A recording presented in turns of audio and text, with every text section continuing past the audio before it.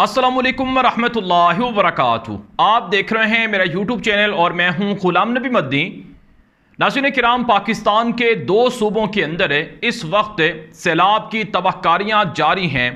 पाकिस्तान का सबसे बड़ा रकबे के लिहाज से सूबा, जिसे आधा पाकिस्तान कहा जाता है, जो पाकिस्तान के अंदर खरबों डॉलर की मादनियात से माला माल है, जहाँ पर अल्लाह ताला की बेशुमार नेमतें मौजूद हैं।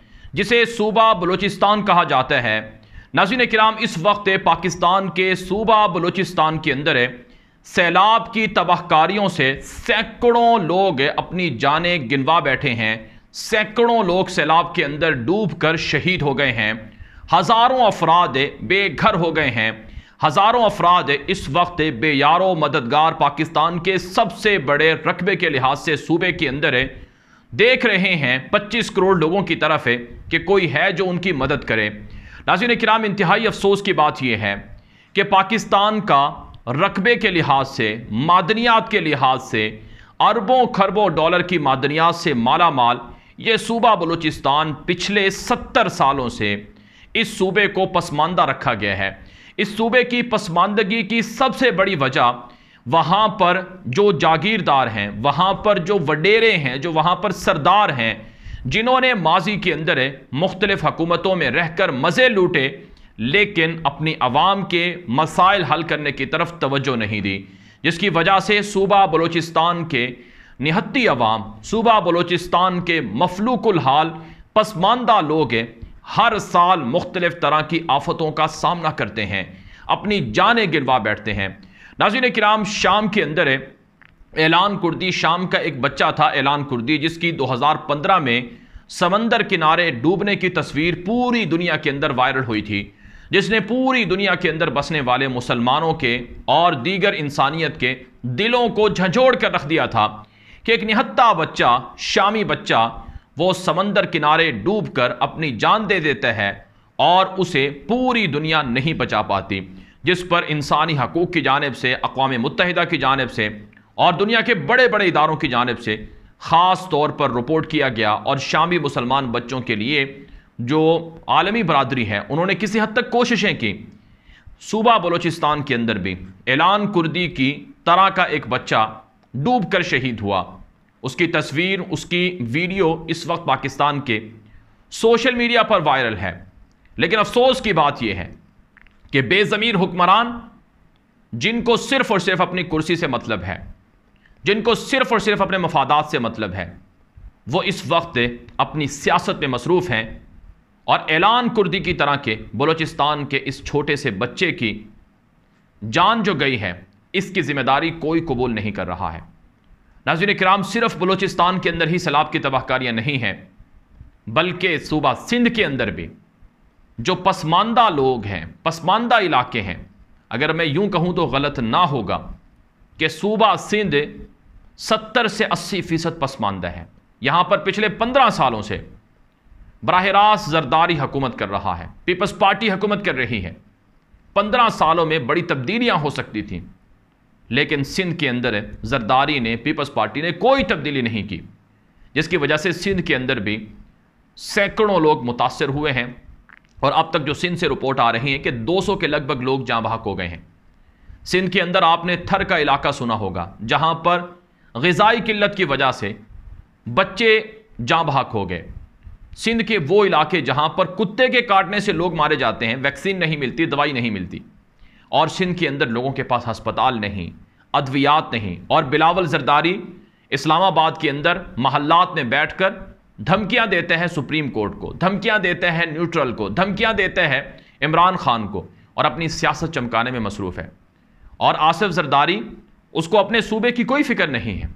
वो साजिशों में मसरूफ़ है, अमरीकियों से डीलों में मसरूफ़ है, चौधरी शुजात हुसैन के साथ डीलों में मसरूफ़ है। वो इम्पोर्टेड हुकूमत को बचाने में मसरूफ़ है और दुबई के अंदर जाकर अपनी सालगिरह मनाता है। उसे पाकिस्तान के अंदर सैलाब में डूबे हुए लोगों की कोई फ़िक्र नहीं है।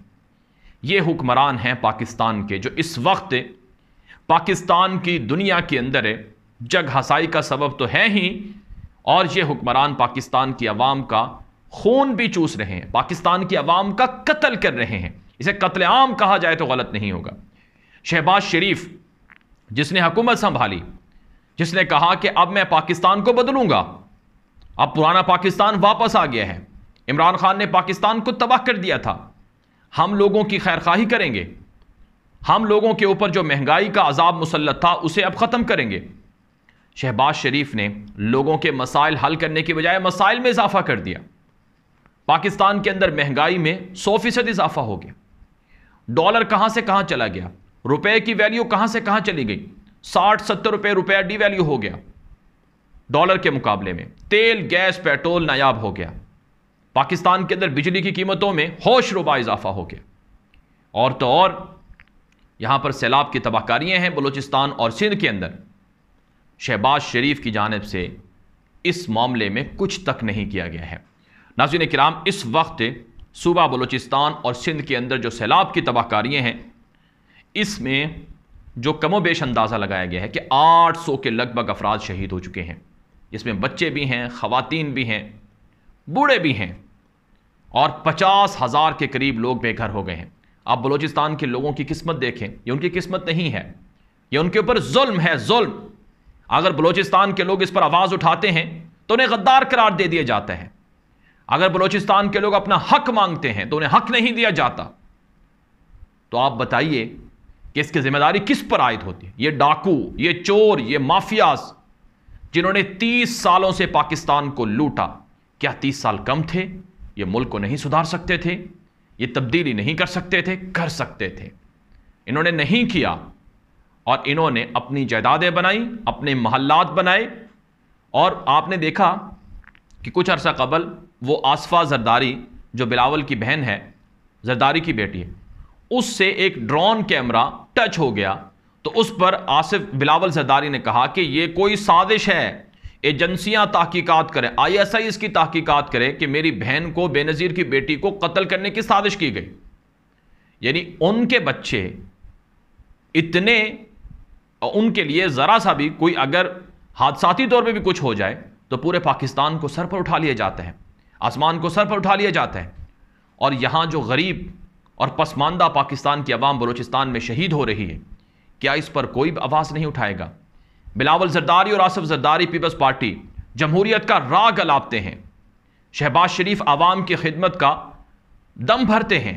दावा करते हैं शहबाज शरीफ कि मैं खादम आला हूँ। अगर आप खादम आला हैं तो यहाँ आपकी हुकूमत में 800 लोग शहीद हो गए हैं, हज़ारों लोग बेघर हो गए हैं। इनकी ज़िम्मेदारी किस पर आयद होती है? नाजीन कराम, बलोचिस्तान के अंदर सैलाब आ जाता है, सैलाब में लोग डूब जाते हैं, और फिर बलोचिस्तान के अंदर हर साल वो हालात भी आते हैं कि लोगों को पीने का पानी नहीं मिलता। खुश्क साली की वजह से लोग मर जाते हैं, जानवर मर जाते हैं, और लोग बीमार हो जाते हैं। ये बलूचिस्तान के अंदर होते हैं। क्या वहाँ डैम बनाकर पानी को ज़ख़ीरा नहीं किया जा सकता? क्या वहाँ पर सैलाब को रोकने के लिए इकदाम नहीं किए जा सकते थे? किए जा सकते थे। इस वक्त जो हकूमत में बैठे हुए बलूचिस्तान के नुमाइंदे हैं, बिलखसूस जो बाप पार्टी है, जिसने इमरान खान का साथ इसलिए छोड़ा कि इमरान खान ने उनके मसले हल नहीं किए। हम शहबाज शरीफ के साथ इसलिए जा रहे हैं कि शहबाज शरीफ हमारा मसला हल करेगा। खालिद मक्सी नाम का जो शख्स है, क्या उसे ये दिख नहीं रहा है कि बलूचिस्तान में क्या जुल्म हो रहा है? क्या उसे नज़र नहीं आ रहा है? नाजिन कराम, ये निहत्ते पाकिस्तानियों पर जुल्म है। इस जुल्म के ख़िलाफ़ उठना बहुत ज़रूरी है। ये लोग साजिशों में मसरूफ़ हैं। इस वक्त चौदह जमातें। अब मौलाना फजल रहमान की आप गुफ्तु देखें। साढ़े तीन महीने में आपको मौलाना फजल रहमान कहीं नज़र नहीं आएगा। और मौलाना फजल रहमान सूबा बलूचिस्तान के अंदर हकूमत बना चुका है और इस वक्त भी हुकूमत का इतिहादी है। और बलूचिस्तान के अंदर मौलाना फजल रहमान क्लेम करता है कि बलूचिस्तान में हमारी हुकूमत है। लेकिन मौलाना फजल रहमान को क्या वहाँ सैलाब नज़र नहीं आ रहा? क्या मौलाना फजल रहमान ने गरीबों का जाकर हाल पूछा? सैलाब जदगान के पास गया? क्या उसका बेटा वहाँ पर गया? क्या उसकी जमात की जानब से कुछ किया गया? नाजिन कराम ये लोग इसी साजिश में मुलवस हैं कि हमने हकूमत कैसे बचानी है? इमरान खान का मुकाबला कैसे करना है? और कैसे अदलिया को धमकाना है? कैसे इदारों के साथ डीलें करनी हैं, धमकियाँ देनी हैं? तो आप अंदाज़ा लगा लें कि ये आवाम के मुखलिस हैं, या फिर ये आवाम के कातिल हैं। ये लोग आवाम के कातिल हैं। यहाँ पर इमरान खान की भी ज़िम्मेदारी बनती है कि वो इस वक्त पाकिस्तान के अगरचे लीडर हैं। उन्हें चाहिए कि वो बलूचिस्तान के लोगों के लिए मदद करें। अगरचे नाजिन कराम अभी कुछ देर कबल इमरान खान का ये ट्वीट सामने आया है। कि मैंने के पी की हकूमत को ये कहा है कि बलूचिस्तान में जो सैलाब की तबाहकारी हैं, सैलाब जदगान की मदद के लिए फौरी तौर पर इमदाद दी जाए। उन्होंने लिखा ट्विटर पर कि मैंने पंजाब हुकूमत को जनूबी पंजाब के तबाहाल और ज़िला मियांवाली के मुतासर इलाकों में सैलाब जदगान की फौरी मदद की हिदायत की है।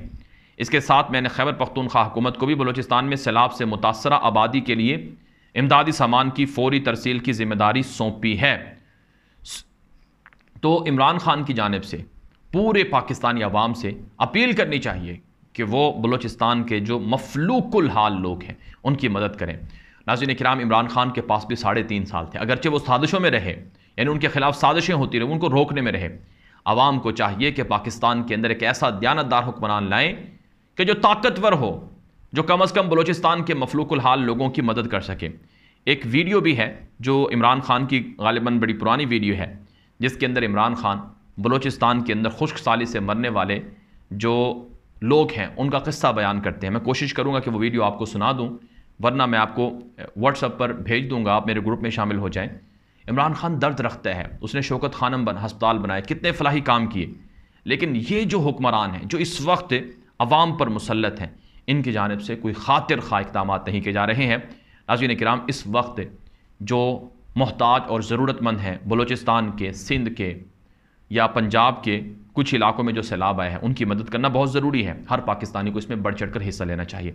अल्लाह ताला पाकिस्तान पर रहम करें और जो मफलूकुल हाल और बेकस लोग शहीद हुए हैं, उनकी मगफरत फरमाए, उनके दर्जात बुलंद करें और हमें बलूचिस्तान के लिए आवाज़ उठानी चाहिए, सिंध के लिए आवाज़ उठानी चाहिए।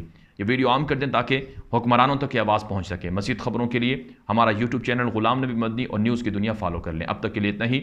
इजाज़त दीजिए असल वरहमल वर्का